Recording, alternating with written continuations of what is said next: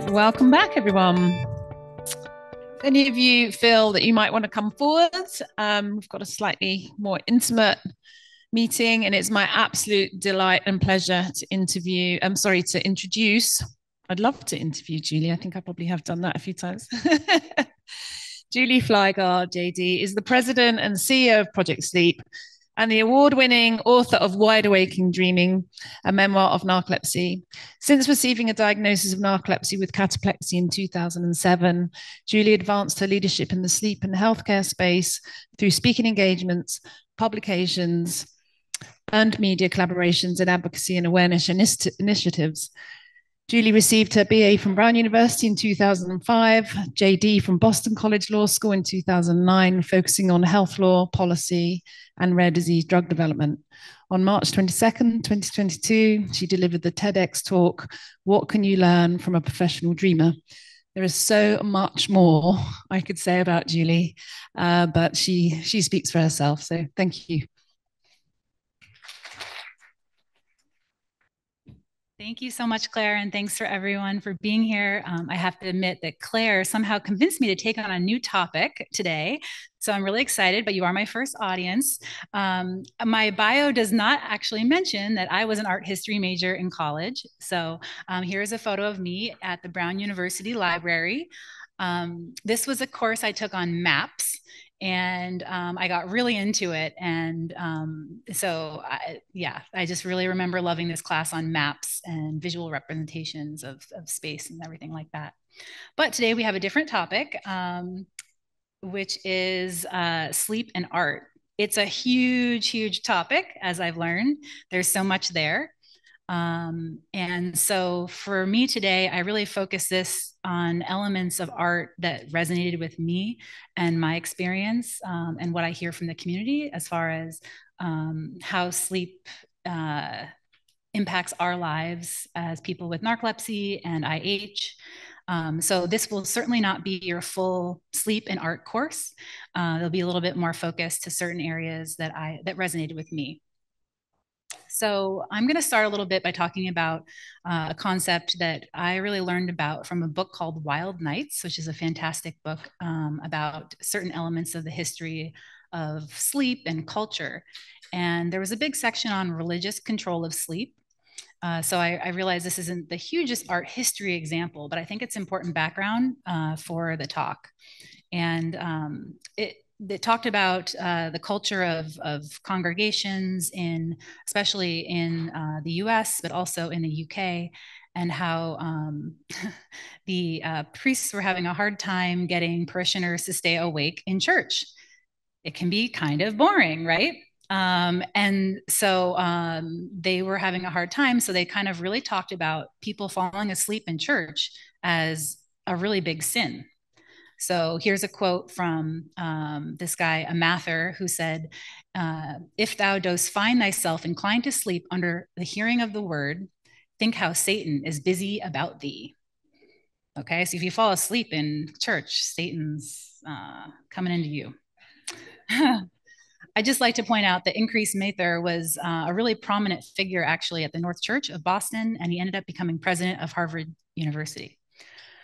Um, we have another guy here who was one of the founders of Methodism, uh, and he was saying oversleeping sows the seeds of foolish and hurtful desires. It dangerously inflames our natural appetites. It breeds sloth. It totally unfits us for enduring hardship as good soldiers of Jesus Christ. So, an interesting element I did read about, I didn't think about, is that um, a lot of these um, religions were also felt like they were competing with newer segments of religion. And um, the newer segments were often having their meetings um, privately at night.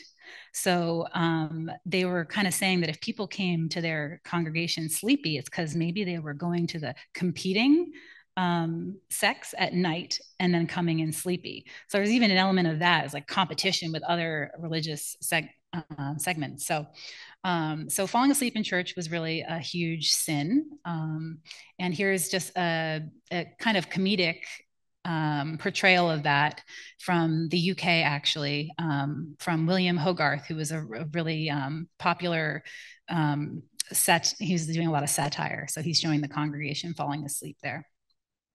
Um, another element that I really learned a lot about from the book Wild Nights is about sleep deprivation and slavery. Um, and there's a fantastic chapter chapter where he talks about really controlling sleep as a weapon that one group can use against another group, in this case, against enslaved people. And um, uh, the talks about the really rough sleeping environments, often on clay floors, uh, not even in beds. Um, and Frederick Douglass, actually, in his autobiography, dedicates several pages to talking about um, the sleep deprivation uh, for enslaved people. So he has this quote More slaves were whipped for oversleeping than for any other fault.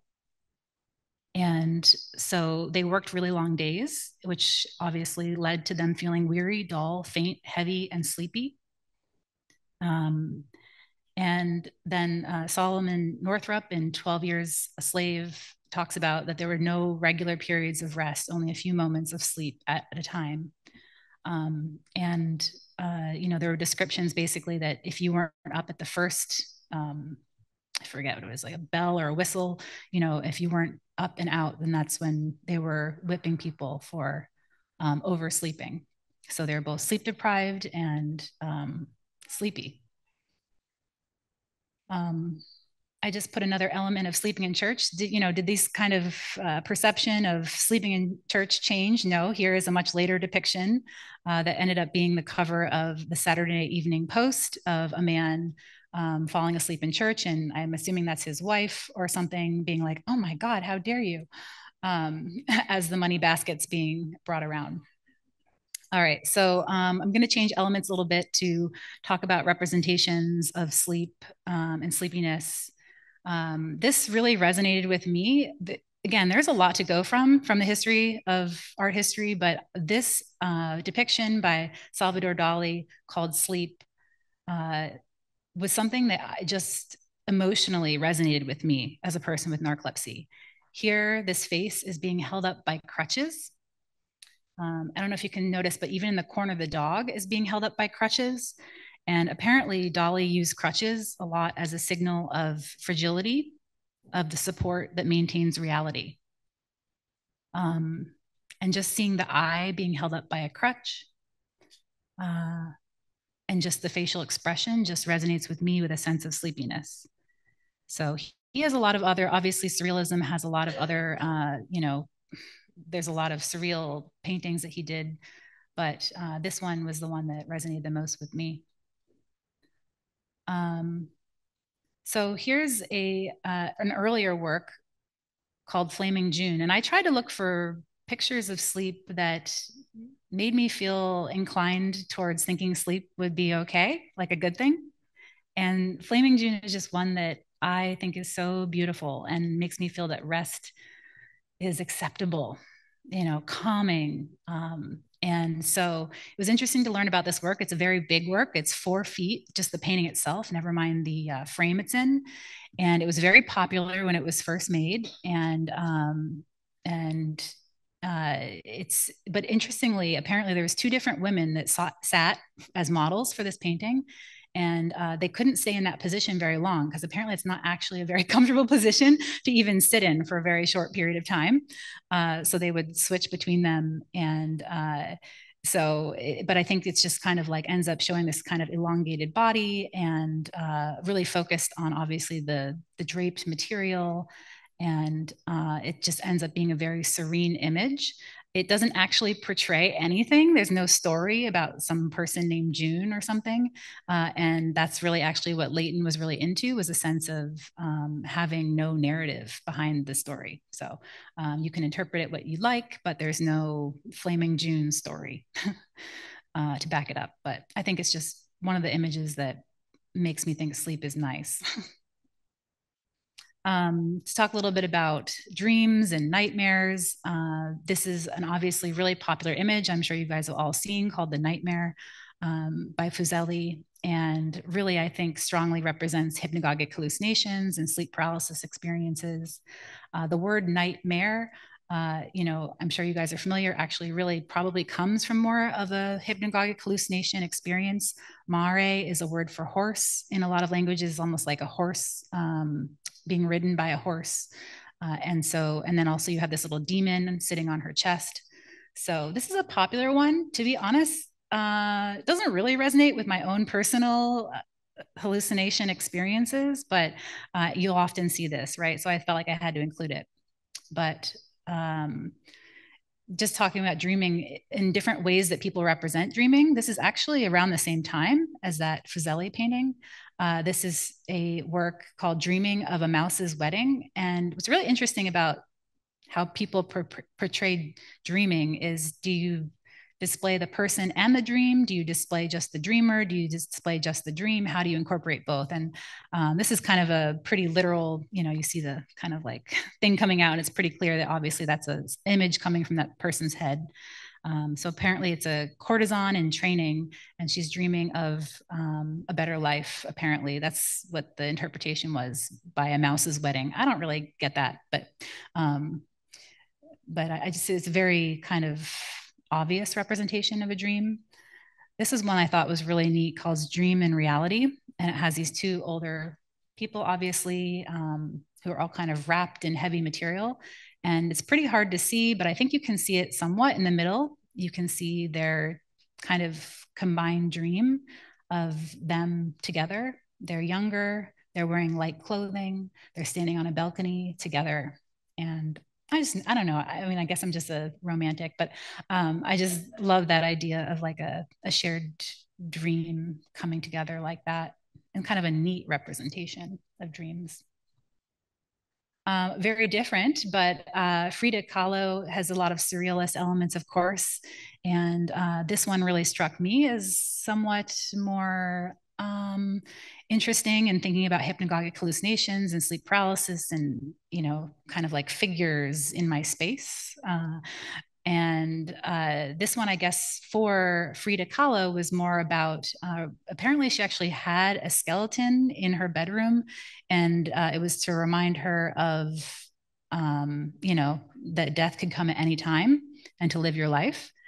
Uh, and that uh, you know so that's and i think that's why there's even explosives that are on set up around the skeleton that everything could explode and your life could be over i guess.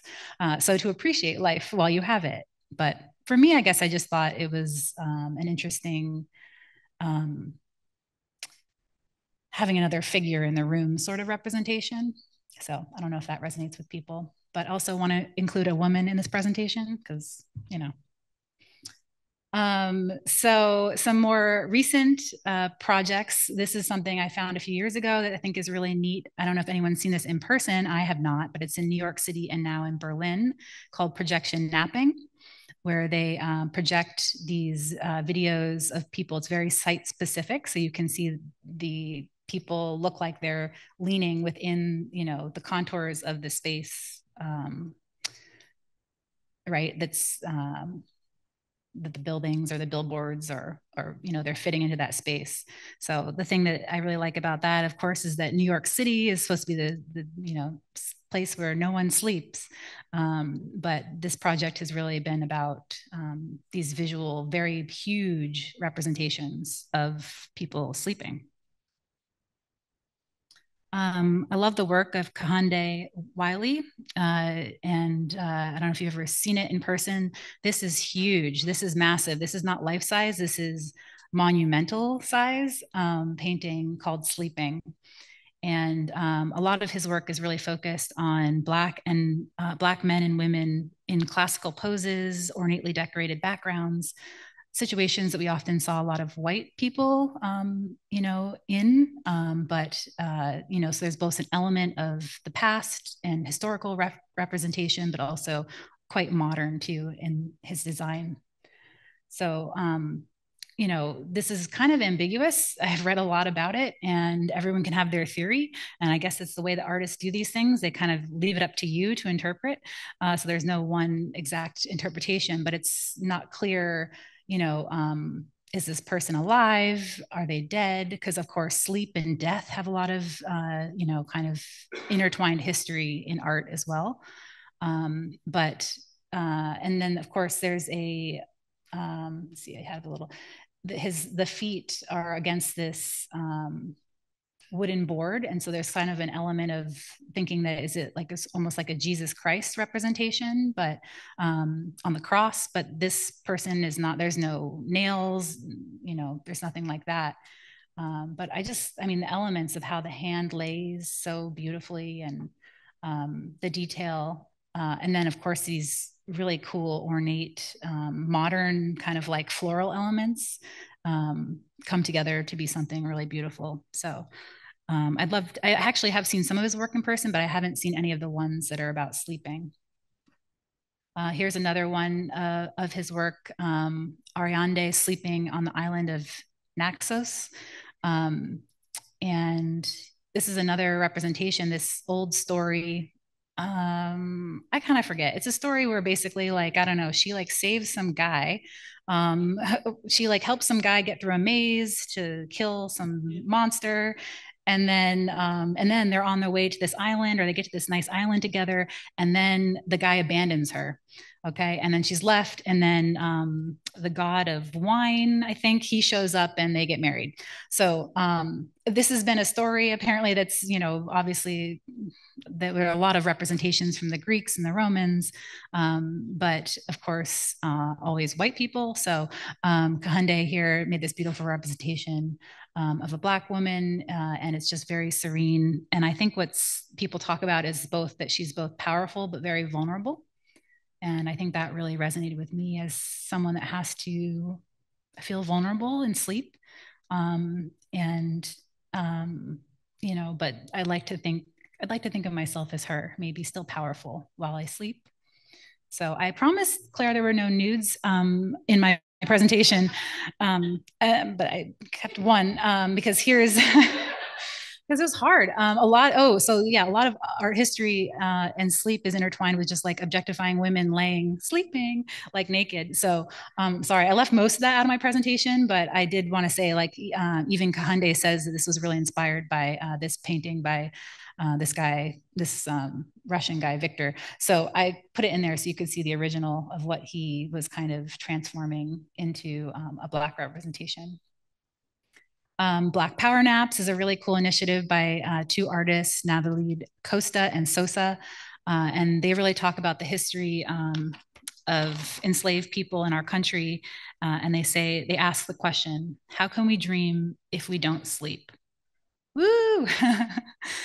um, and they trace the history of, of the cultural perceptions of sleep as laziness, especially in the Black culture, um, and you know, trying to claim back the power of rest, um, which is also something I'm sure you guys are familiar familiar with. Um, the Nap Ministry, which is another um, really wonderful voice um, to talk about claiming rest as re- as resistance and so um, I haven't seen these in person, but um, you know, they apparently they they described that they create these spaces, uh, these installations that are almost like being on a ship, uh, rocking you to sleep with mattresses um, and hand dyed fabrics and um, projections on the wall. So it sounds really comfy and cozy, and I'd love to go to to see one of these um, installations.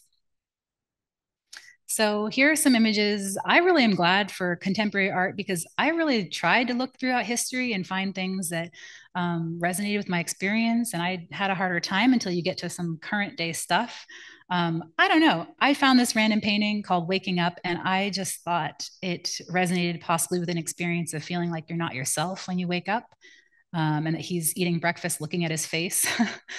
um, so I'm just really glad. You know, this is something. If you've attended some of our broadcasts, um, I love this Aykut Aydoğdu. Um, it's a Turkish artist, uh, and you know, this feeling of having two heads, one asleep and one awake, just really powerful. Um, or having your face feel like it's somehow behind your face. Um, I could, I mean, I could show you his whole collection because I think so much of it is, you know, this feeling of being washed over or brain fog. Um, some other ones, eyes on fire. Anyone else ever felt like their eyes are on fire? um, or their head just kind of like uh, becoming liquid. So um, there's just so much cool stuff out there now, and I just focused on a few um, of my favorites. Uh, this artist um, in, um, I believe it's China, um, has a series called Lucid Dream 2. And I really wonder if this person has a sleep disorder because, um, you know, some of what they show here, your brain feeling like uh, it's been demolition zone or this person fighting you in your own head. It's just really powerful to me. Uh, here's some more from it, feeling like your face is like, I don't know what, being held up this way. So, um, you know, a lot of time has gone by, and uh, I started, of course, with talking about religious control of sleep and you know old times old times. So have our perceptions of sleep changed? Are we all empowered and we all think that sleep is great for us here's an example from uh, the australian organization. I was in australia this past march uh, and this is an artist who did an installation where he actually had 180 people come in and to the to the museum and kind of do some confessionals but a lot you know whatever whatever you think is your secrets. So i was actually really surprised how many of these things had to do with sleep. I mean we're talking your biggest confessionals. There's some big confessions in here. Um you know i don't know there's a lot of big confess there's heavy stuff in here and how did sleep make it to the top of some of this so here are just some examples i have afternoon naps God forbid. um, sometimes I don't want to get out of bed. I tell my friends I go to bed at eight, but really I go at nine. I just couldn't believe that still, you know, um, that, that still in 2000, I guess I can, but unfortunately, we still have a long way to go, that we still have a judgment around sleep. And I think it probably goes back to those, you know, um, those original you know people being afraid you're going to fall and fall asleep in church. So let's let's pretend that the devil's entering you when you sleep in church. Um, i'm sure it comes from a lot of different places right? Or our history with slavery. So um, okay just a quick story uh, about how I wrote a book, and I really focus so much, of course, on telling my story in words. Uh, and then you get to the end of the experience and you start to realize you need a cover for a book. Okay. And you think, oh, no one should judge a book by a cover, but come on, everyone judges the book by a cover. So um, I found a, uh, a cover of a lupus memoir I really liked. It really kind of uh, stuck stuck in my head. So I, I, asked the I knew the advocate with lupus that written the book. She was kind of you know helping me with my whole experience writing a memoir because she'd done it. Um, and so I asked her for her designer she'd worked with. The designer lived in Argentina, so I contacted her. We did this like oh this filling out this paperwork about you know what elements visual elements resonate blah blah blah. She sent back some early drafts and they were bad. Okay, um, so I was like, oh, I don't know what I'm going to do. Around that same time, one of my best friends, which was um, a fellow art history major, uh, Melissa here, uh, we took all of our art history classes together. We kept each other awake in the library often by giving each other back massages because it was, and then we'd like study together and like quiz each other. Um, back when I was undiagnosed in college, um, she was a huge part of my experience. And fast forward to uh, this would have been 2012 uh, she was she'd lived the art history dream she was doing kind of what i thought was not possible she was a curator at a museum in san francisco traveling around the world bringing you know van goghs and vans across france you know doing this really cool stuff and uh, she gave me this uh, print uh, and it was called dreaming and it was by a woman that worked in the gift shop at the museum where she worked in San Francisco. And she said that it resonated for her because we had five best friends in college. And so we held each other up. And I thought that was so beautiful. But I also saw that image and it had it was titled Dreaming. And I thought, oh my God, like I just love how it's holding the body up. So I sent it to the graphic designer in Argentina and I said, there's something about this, but I don't know if the artist will let us use it or, you know, whatever. So I asked my friend Melissa, who contacted her friend in the gift shop, who made the, you know, the whole thing. And um, and the artist actually said that, and I had to be like, hey, I love your art. Would you mind if it's on the cover of a memoir about narcolepsy? Oh, I don't know. I don't know. I was kind of awkward. I didn't know her. And she wrote back and uh, she said that uh, she actually was told her mom about it. And her mom said, you know, your grandmother had narcolepsy and she had passed away when she was younger, but she had narcolepsy with cataplexy, uh, where she was actually like had a hard time cooking sometimes because uh, of her muscle loss, and so it actually became quite personal for the artist to help me, um, you know, use her image for my cover. So I did ask her to redo the image slightly. Let's see if we can go back. Um, I wanted long hair, and the boobs were a little pointy.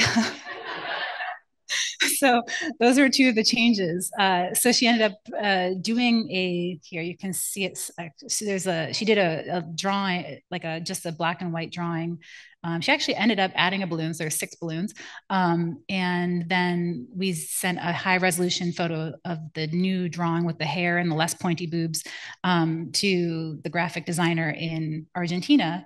And uh, so then she kind of came back with some of these things. And I was still like, oof, geez, I don't know. But there was something about the middle one, right?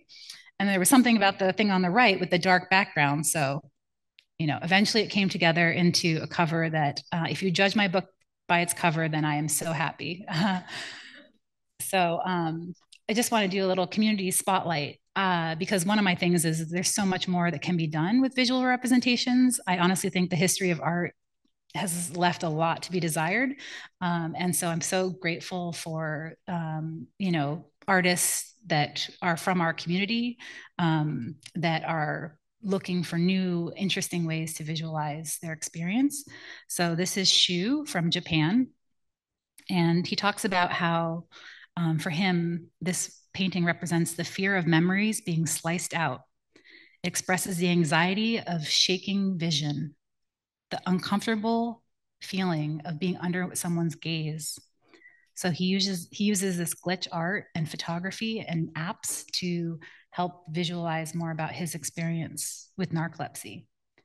Um, and yeah, also a huge shout out to the Hypersomnia Foundation for hosting a t-shirt contest. I think that's amazing um, because we need our artists. We need you um, to be making art that represents your experience here are just a few resources. Um, the Sleep in Art book um, by Dr. Kryger is incredible. Um, and really, I've used a few examples from his book here, but there's so much more there. If you're not familiar with Museum of Sleep, it's a great uh, Instagram account. They hope to have someday a museum, physical museum. Um, I did a great interview with them this past uh, Sleep In. Uh, they're in Richmond, Virginia. And of course, um, Tatiana is a wonderful artist from our community. We did an art workshop together and um, an interview this past sleep in as well. So you can see that. Um, we have a narcolepsy and brain fog toolkit that includes some of these great representations along with an interview with Dr. Maskey about brain fog. Um, and our narcolepsy and art toolkit features, I think, six or seven different artists with narcolepsy from around the world um, including Shu, who I just showed you, and Dana from Israel, and artists from across uh, the US.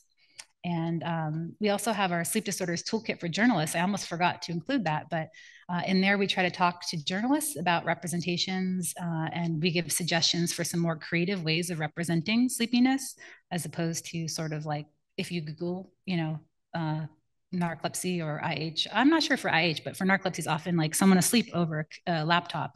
I'm actually, I mean, fine. I'm just bored of the image. Let's just, you know, have some more creativity and, and diversity of, of images of what sleepiness feels like. Um, one thing I wish I could have shown more was representations of what it means to feel like from behind the eyes of someone with sleepiness. What does that fog look like outward? Um, I tried to Google around. I mean, I guess you could say impressionism is a cool way of kind of showing somewhat of a more, you know, foggy environment, but I didn't really see as much out there as I'd like. So um, I hope that that could be an interesting area of trying to visualize to show people the world from behind our eyes would be something that'd be really cool. So um, that's what I have. So thank you guys. bit of a darker topic. I've been getting into horror movies lately. Um, and mm. I've found that personally, um, a lot of representations in horror films of like hauntings and things like that. I've been watching it and saying, mm-hmm. that's narcolepsy. Mm-hmm. I'm narcolepsy type one with cataplexy. And uh, a lot of these representations that include like um, the exhaustion, nightmares, sleepiness, like hallucinations mm-hmm. and whatnot. I was watching it and just being like, oh my gosh, yeah, this this rep- yeah. this weird like sl- it's not sleep disorder representation exactly, but it feels like an almost accidental representation of these things. I yeah. guess as a sort of general question concept, mm-hmm. I almost wonder if looking into horror and the horror of sleep, since horror exposes the yeah. true you know things that we as a society and as a culture are afraid of mm-hmm. if really looking into the horror of sleep might be a useful uh, avenue in terms of artistic representation yeah. of sleepiness and well, sleep disorders like that. we might have to get you on that case because horror movies scare me and, oh, and they're scary I, for a reason. And i think they feed into my hallucinations so i avoid them. Um, and so it wouldn't be something i would take on but i totally agree. Um, and yeah so and also just film and narcolepsy. I will be talking about sleep in hollywood on wednesday Wednesday um, of the meeting. So uh, there's a lot to be said about film uh, in good ways and bad ways, a lot of bad ways. Um, but uh, that that is so true because even what we've looked at so far is when people more character portrayals where you say this person has narcolepsy or the word narcolepsy is mentioned. Um, but what is so neat about those is often the more like curiosity or like you said, feeding into the fears um, and probably some things that really resonate with experience, even though they're not saying the word narcolepsy. So, yeah, I think we talked about some of those um, neat representations in our hypnagogic hallucinations and sleep paralysis broadcast. Um, things from Stranger Things um, and Harry Potter, maybe. What else, Taylor? Well, remember she made the toolkit, but there's a lot of really, oh, um, and uh, Billie Eilish uh, has a whole album that seems like you know about like a lot of hypnagogic hallucinations and stuff like that. So there's a lot of cool stuff out there. But yeah, you'll have to do the project on the horror. Oh, I just wanted to give a quick shout out to Tatiana uh, that you showed her. So I did a blog post picturing narcolepsy, and I didn't have any pictures. It was how I pictured it in my mind. Three years later, I had them do paintings for me, which I've got 18 of them uh, which I have in like a coffee table book uh, that I always carry around with me, except for today. But you know, support your your artists. They, they are awesome. You get people with like Matt over there sitting mm-hmm. a couple tables away. Mm-hmm. He does stuff with rocks and people with narcolepsy or IH and, and KLS. They're some of the most creative people I know. Mm-hmm. So thanks for Tatiana and yeah. everybody else that does artwork. All right. Thank you. Um, as Julie said, that was a first presentation of its kind that she's done. And so you heard it here first. Uh, I think um, there'll be many, many people who will want to hear that and see those images because they're so expansive and inspiring. So thank you for bringing that perspective uh, to this weekend, which is otherwise pretty heavy with data um, and graphs and pie charts. So that was really refreshing. Thank you.